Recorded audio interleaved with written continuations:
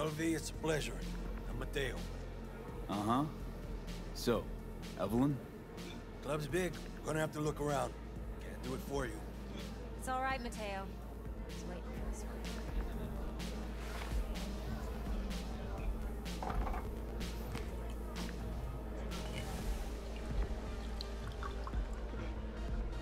Evelyn Parker. I knew it was you as soon as you walked in.